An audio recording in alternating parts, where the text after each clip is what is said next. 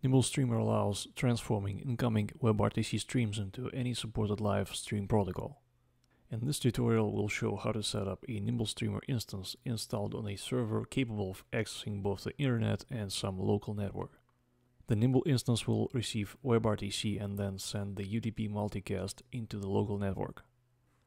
We'll also show VLC receiving that multicast and playing it properly. We have a Nimble Streamer instance of the latest version. We've already set up SSL for Nimble as well as added two parameters required to enable WebRTC. Let's set up the application which defines the incoming WebRTC streams. We define its name and credentials for further use in publication process. Let's publish a stream from a browser. We use the app name and some distinctive stream name as well as user and password. Another parameter sets the codecs which a browser will use, in our case it's H264. In our example we'll use a WebRTC mock device in Safari to initiate a picture with a clock for further comparison.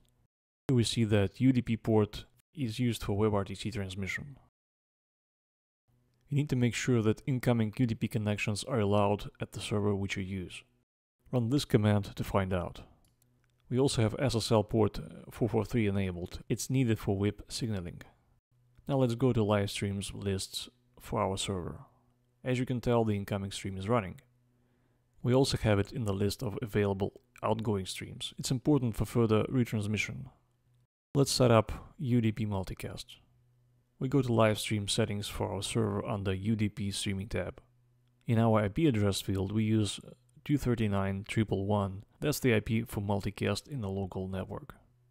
As a source of our content, we'll use the WebRTC stream which we just saw in the outgoing streams. Once the setting is applied, we can try watching the stream which we've just set up. Let's use VLC. In VLC preferences, we set the caching level to lowest latency.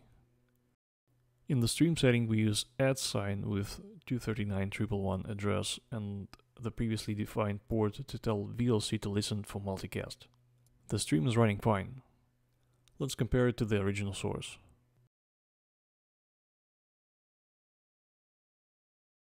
Check video description for more articles and videos about WebRTC setup.